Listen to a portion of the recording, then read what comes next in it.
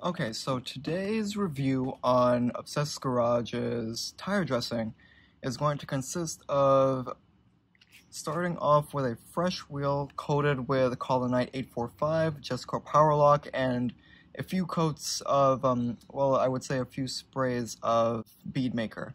So, what I have here is his tire dressing, and I slapped on there a Griot's Garage sprayer because it doesn't really come with one. But per Obsessed Garage's directions, we're going to decontaminate the tire, which I already cleaned with Beadmaker and dried off.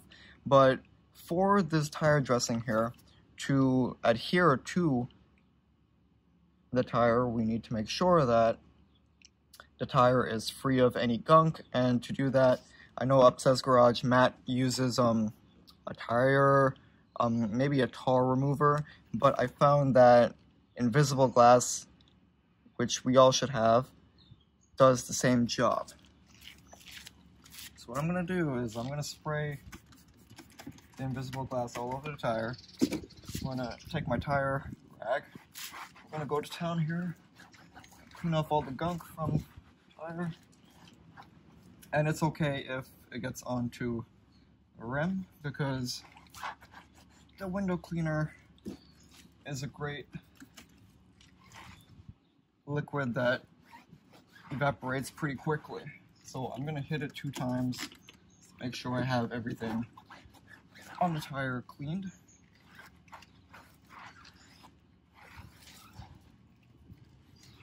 Okay, now that I've got all my gunk off, let's go take a look at the tire.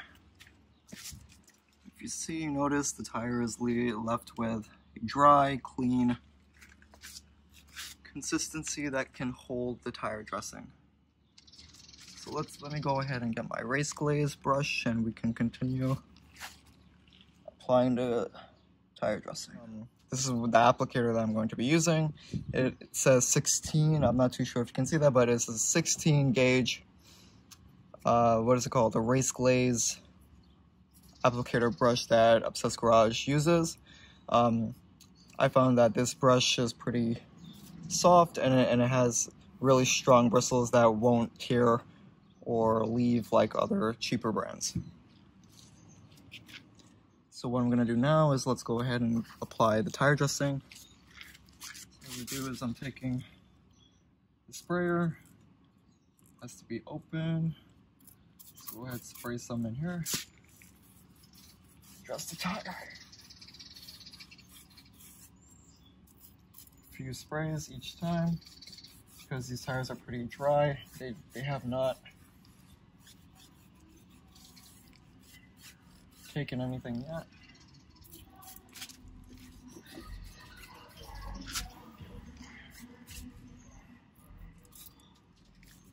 Making sure to get inside of the crevices. This brush is pretty stout, so the bristles do not harm the rim or the tire at that fact.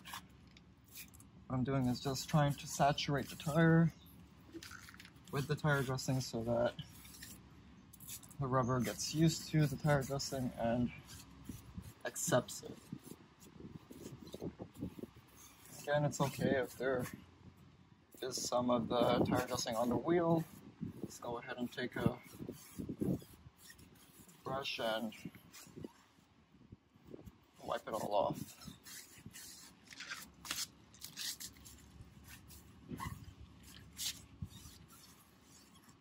I may add that the tire dressing smells really good. Reminds me of Adams Polishes the shampoo, car shampoo. Alright, so that seems to be coated well.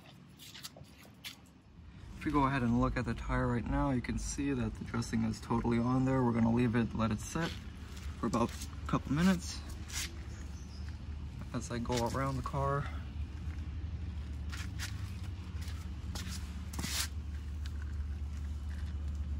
You can see the tire dressing is allowing, I'm, I'm allowing it to, to soak in and then we'll come around after five minutes and then we'll wipe it, wipe the excess off and we'll see what kind of finish we are left with. Okay, it is now time to wipe off the excess and I will zoom in closer to let you guys see what the tire shine looks like after a wipe. So right now I'm using a, a separate, another one of my towels, specifically for the tires. What we're going to do is we're going to use this towel to, to wipe off the excess. Tire dressing and I'll bring you guys in closer to see.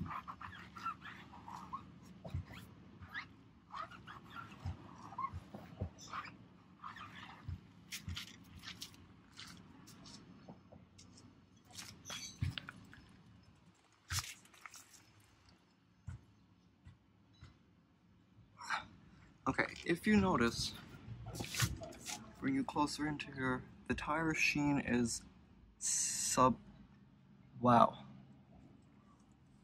The tire sheen on this tire is fantastic.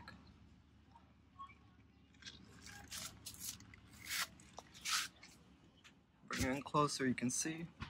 What I'm going to do now is I'm going to use my finger. And I'm going to show you that when I rub it here, nothing comes off. Focus. Nothing.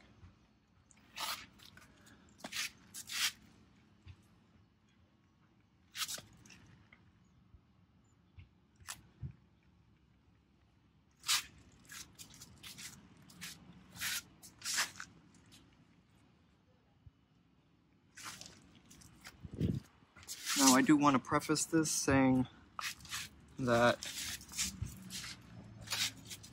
this tire shine was given a few times of applications on the same tire and Matt Mormon from Obsessed Garage makes it clear that you will need a few applications to make sure that tire dressing is completely soaking into the tire. I did also want to say that I have experimented with this tire dressing before, and I'm reporting that there has been no issues with slinging, and that the tire shine in the without sunlight has a sateen blacker finish, and in the sunlight there's a, a distinct shine that wasn't existent when I had CarPro Perl on the, the tire. So right now I'm coming from using CarPro Tire, um, CarPro Perl, and I'm going to report that this tire adjusting from Matt Mormon is 100% legit.